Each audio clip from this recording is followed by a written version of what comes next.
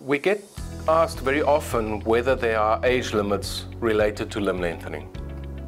I think it's important to separate the lengthening we do for limb equalization and deformity correction from stature lengthening. For limb equalization and deformity correction, there are no real limits in terms of age because that is a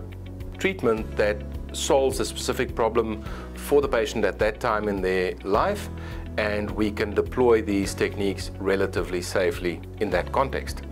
When we're dealing with stature lengthening surgery, there are very discrete age limits and the reason for that is safety. Now, of course, height dysphoria or a um, height neurosis, if you want to use that term, uh, can exist at any age in a patient. So we do not limit the psychological impact of the uh, short stature on the patients by age, but the surgery itself is at, at its safest somewhere between 20 and 40 years of age.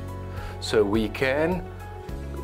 bring the age down to probably 18 years at the lowest end and we can probably extend it to about 45 years at the upper end but that is roughly the safe range for stature lengthening surgery. We need to take into consideration that the older the patient gets the slower the bone growth will be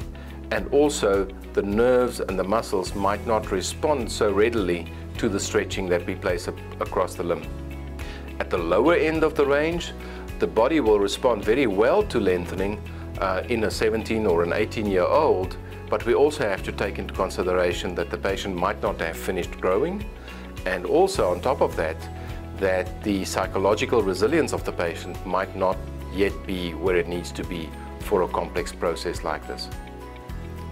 So the safe range for stature lengthening uh, in most patients is from the age of 20 to roughly the age of 40 and within that range it remains a relatively safe procedure to increase the patient's stature and change their life.